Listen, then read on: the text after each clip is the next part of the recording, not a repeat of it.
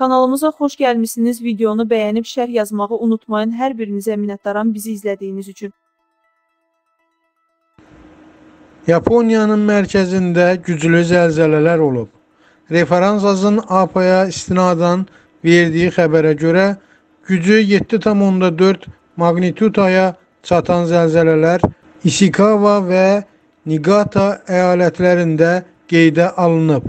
Hələ ki, dağıntı və tələfət barədə məlumat daxil olmayıb. Ancaq ölkənin qərb sahilində hündürlüyü 5 metrə çatacaq tsunami təhlükəsi elan olunub. Yerli sakinlər təcili sahil zonaları tərk etməyə yaxud binaların damına çıxmağa çağırılıb. İndiyə qədər 3 dəfə güclü zəlzələ xəbərdarlığı elan olunub. Yerli sakinlər növbəti yeraltı təkanlara hazır olmağa çağırıblar.